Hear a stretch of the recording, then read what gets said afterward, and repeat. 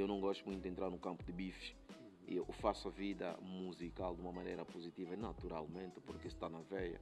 Eu não faço a música por mediatismo, não sigo tipo, não, mas eu tenho que fazer o sucesso, o sucesso. Não, sucesso é uma coisa.